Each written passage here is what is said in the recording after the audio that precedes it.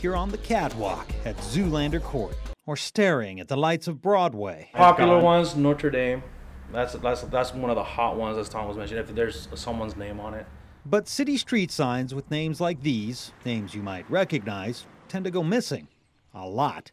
We uh, came up with 591 signs that we replaced that were missing. Nearly 600 signs in a year, according to Tom Weber with the city's sign department. He calls them missing for now, mainly because he can't say for sure they're stolen. Is that a high number, low number? It's not a number that we've actually calculated until you ask us to calculate it. he would know. He's seen his share of signs. I've been in this department for 14, so actually in this position. And so now that we know a number of 500 and something signs a year, I mean, do the math. That's, that's a lot of signs. There are some signs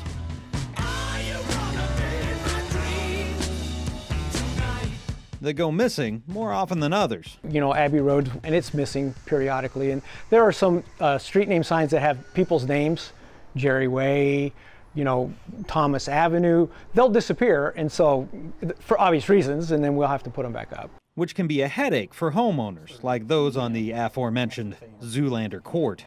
When we first moved here, we had our street sign stolen probably three or four times. Deneen Greer lives on the street with the famous movie model moniker. They tried to do it quickly. I think after the second time, they probably made an extra sign. but for Deneen, it's not just the fact the signs go missing. Without a street sign, people had no idea how to find the small Sacramento cul-de-sac. We had difficulty, people knowing where you live, getting deliveries. Yeah, it was difficult.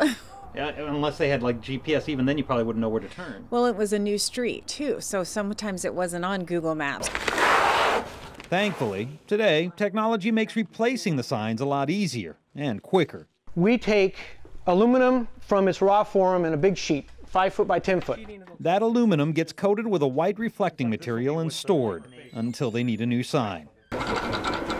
Which is a lot easier using computers. Which was back in 1987 um, they were sticking each individual sign, and that took hours because you had to cut individual letters, lay them out, make sure that they were straight because they, they could move individually.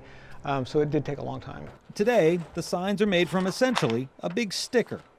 Pulling it from our program to getting it cut, getting it peeled, takes roughly about 15 to 20 minutes. That's not too bad. For one side. But even though getting the signs cut and pasted is quick, it still costs the city to replace those signs. Average numbers around $200. But when you go 500, 600 signs, 120,000 a year. That's that's not chump change. That's not chump change. And maybe the fact that your tax dollars are paying for these replacement signs isn't enough, and you just have to have your namesake sign, like David Way here. Well, think about the penalties. Taking the sign itself is a misdemeanor, but if you get caught with possession of stolen property, that could lead to jail time. We get calls all the time. The police department will say, "Hey, in our property section, we've got five or six signs. You know, we want to drop them off," and then they'll bring them down. We'll have already put them back up, so now we have to do something with these signs. And in the end until then, the city tries to make them harder to steal, like on Zoolander Court, where they put the sign even higher. It's been a little while, but you know, a new Zoolander movie is coming out, the second, and so I anticipate it might get a little more interest again in the Zoolander sign. Probably don't think about selling them for people who want to have a Thomas Lane or that. No, actually, I can't. In Sacramento, Dave Manicherry for Common Ground.